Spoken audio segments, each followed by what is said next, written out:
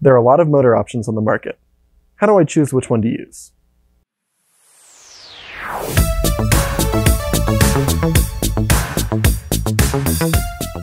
For FIRST Robotics competition teams, there are a lot of motors available to choose from to put on your robot.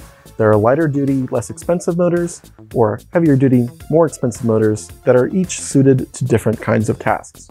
Lighter duty motors are more suited to things like turrets or light duty rotary motion mechanisms, uh, while the more expensive heavier duty motors are better suited to arms, elevators, drivetrains, that sort of thing. There are two types of motors in FRC, brush motors and brushless motors.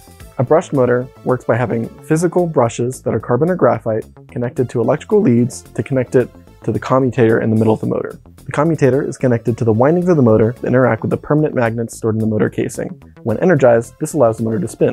The commutator changes which coil in the motor is active at a given time. That allows the motor to spin continuously as the name suggests. A brushless motor doesn't have those same physical brushes that a brushed motor does have, Instead, it uses a smart speed controller to actively control which coils are interacting with the permanent magnets in the motor. While a brushless motor can be a lot more power dense than a brushed motor, they are more expensive and a lot more difficult to use. Not every device on your robot needs to use a brushless motor, and it doesn't always need that hundreds of watts of power.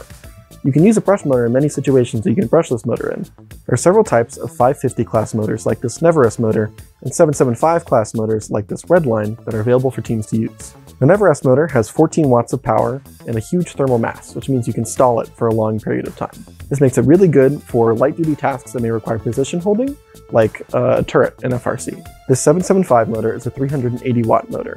It has a little bit more power than a CIM motor, but it runs at a faster speed, so there's a torque speed trade-off between those two. The trade-off being that if you stall this motor for virtually any period of time, it's going to heat up a lot faster than something like your CIM motor would. This makes the 775 really good for high-speed applications in FRC, like a shooter or an intake. The tried and true workhorse of FRC is the 2.5 inch CIM motor. This motor is ideal for high load applications like your drivetrain, arms, elevators, anything of that sort. It has a lot of power and a lot of thermal mass. It also holds up while it's in a stall condition or when it changes directions quickly, which not all these motors handle as well. In the last few years, teams have been switching out their CIMs for these full-sized Neo motors. It has similar, if not almost exactly the same performance as a CIM motor, but in a much smaller and lighter package. Its power delivery is a little bit better than a CIM motor, especially when warm. However, this full-size Neo is a brushless motor and requires a special motor controller to use. For the full-size Neo, that's the Spark Max motor controller. Note that there are several cables that need to be plugged into the Spark Max motor controller for this motor to work with it. There are three phase wires and the encoder cable. All four cables need to be plugged in for this to be a functional motor. The rest of the motors on this table are all brushed motors, which can use much simpler controllers with fewer wires connecting to the motor. Generally speaking, when selecting motors for your mechanism, you want to look at their stall torque and free speed, but also the overall power curve for that motor. Most of the motors we use in FRC have a published motor curve. That curve gives each motor's performance at various speeds that it's running at. Those curves and any additional data you may need for these motors are listed on those motors' web pages. It's important to take these parameters into consideration when you're designing your mechanism or selecting your motors, especially the available torque.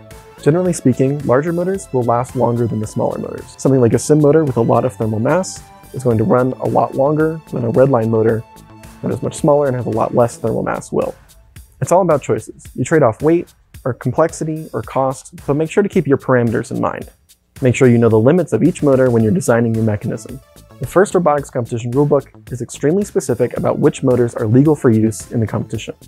Be sure to consult the manual for that year's game to check if your motors are legal. And that is how you choose a motor.